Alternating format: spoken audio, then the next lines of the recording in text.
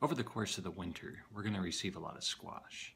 So we have to learn how to prepare it in a way that uh, kind of fits into our lifestyle and our what you know how much time we have throughout the day. So we're going to roast this butternut squash today, and then we're going to process it. And basically, we're going to run it through a food mill and create a product that we can add to soups, we can add it to stews, we can serve it as is as a side dish, and do a lot of different things. So let's go ahead and get started.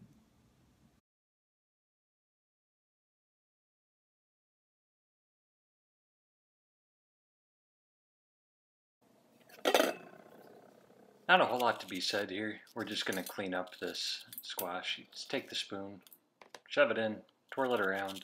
All of those seeds ought to come out. And go ahead and continue for all of the halves.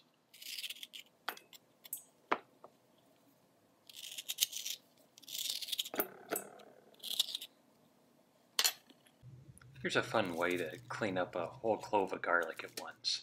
Just grab the whole clove, throw it in a bowl, put a matching bowl over the top, and shake it.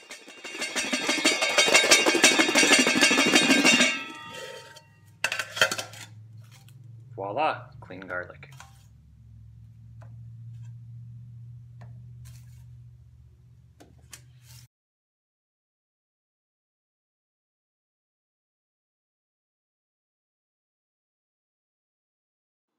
These are ready to go in the oven now, 350 degrees.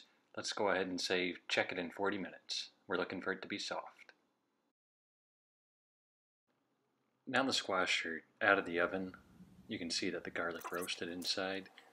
Now here I very quickly scoop out all the inside of the squash right into the food mill.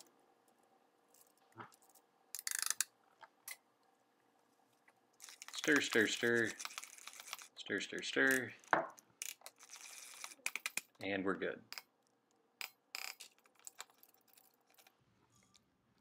This base now can be used in soups and the stews. Pretty simple. I like to just add some bone broth right to this. I just add enough to get it to the consistency I want. Garnish with roasted pecans. Good to go.